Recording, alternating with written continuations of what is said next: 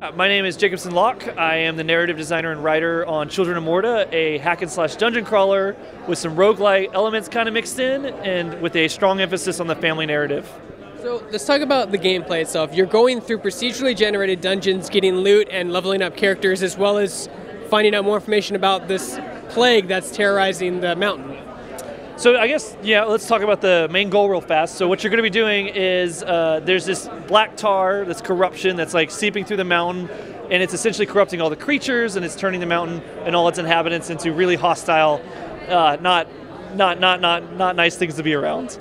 Uh, so your main goal is to reach the top of the mountain and figure out what's going on. But in order to do that, you got to climb the mountain and rescuing all the lesser gods along the way. So what you're going to be doing is playing a family of heroes and you'll be going through procedurally generated dungeons uh, where you will be facing unique enemies, a unique visual theme, unique narrative events kind of taking place uh, for each theme of each chapter, and then also trying to figure out what this corruption is, where did it come from, and how do we get rid of it. So talk about what it's like writing for a game like this. It's been an interesting uh, challenge because it's a roguelike with procedurally generated dungeons, but we want, you know, we have a story with a beginning, a middle, and an end. So we've kind of divided our narrative into several threads. We have our main narrative, and then we've got our family narrative. Now, the main narrative gives you just enough information to know what's going on, so you can continue to like, you know, enjoy the game. And we really deliver that in between chapters uh, through through very standard cinematics, essentially with narration and that gives you enough information to know what's going on. And then there's a lot of supplementary uh, narrative behind that, like the family. Every time you return to the house after defeating a dungeon, you'll see what they're up to. They're going to have thought bubbles above their heads that are dynamically linked to all the stuff you're doing in the dungeons. Um, some of the events you find, like my favorite one right now, is you'll find a wolf cub in the caves, and if you save it, you bring it back to the house, and you then are tasked with uh, nursing it back to health. And if you do this, it becomes a permanent fixture of the house and will forever interact with all the characters in the house every time you return to it. So essentially, we want to make sure the family feels like a living and breathing entity as you progress through the game. Now, are, are there other things like that in the game where you can bring back to the house and change how the house works? There are more characters that you'll, more visitors that you'll be seeing at the house as you play throughout the game. Uh, additionally, there's some. Uh, the house is also the hub where you can upgrade various um, mechanics for yourself, uh, whether it's the family or the house. And some of those mechanics will actually start to dynamically affect the world. So the idea is that whatever you do in the dungeons affects the house. Whatever you do in the house affects the dungeons. So basically, you could like make your sword attack more powerful or be faster, that kind of stuff. You can do. Uh, we have each character has its own unique skill tree, each member of the family, and as well as a training ground where you can upgrade the entire family's statistics at once. And we do that so that, like, you know, if you've got a level 10 character, your friend wants to jump in, their level 1 character is going to have the same stats as a level 10 character, but they're still going to start with level 1 uh, ability so they don't get overwhelmed and they still get to feel the sense of pride in progressing their character. You guys have multiple family members. Can you talk about a little bit of brief description of what each one does and how they're differently, and how they vary in, in how they vary in playstyle?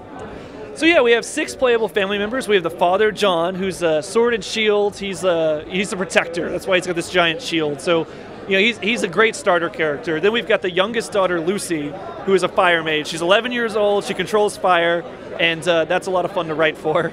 Uh, then we have the eldest daughter, Linda, who's an archer. So if you really enjoy staying back and like really being precise with your arrows uh, and shooting, she's a great character to play as. We have the eldest uh, son, Mark, who's a monk. He's all about hand-to-hand combat. He's probably our most di- our most uh, unique character right now, where he's almost got like a mini combo system built into all his mechanics. So he's probably the most advanced character in the game to play as.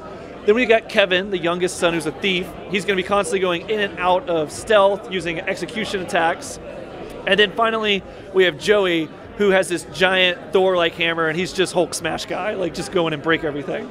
I love the names. They're so like American. Kevin, Joey, Johnny. Yeah, we have a lot of fun kind of mixing genres. We take a lot of inspiration from Studio Ghibli for like kind of the art style, as well as a lot of uh, Persian and like Middle East kind of art styles, kind of all like mashing together.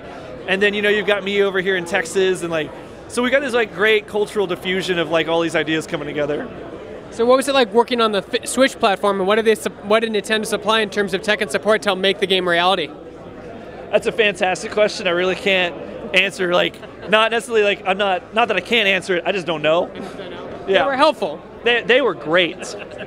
Well, talk about some of the environments and biomes we can explore. You, you, you talked about a steampunk dungeon.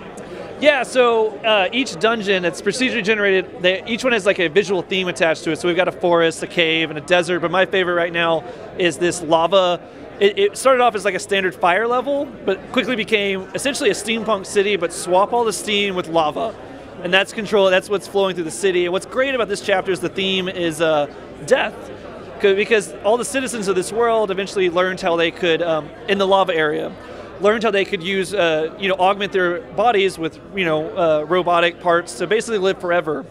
So with the corruption coming through, it's starting to corrode all the machines. So in this chapter, you're actually helping people cope with death and helping them pass on a lot of uh, the many events you'll find there. You were a Kickstarter project as well. Talk a little about that.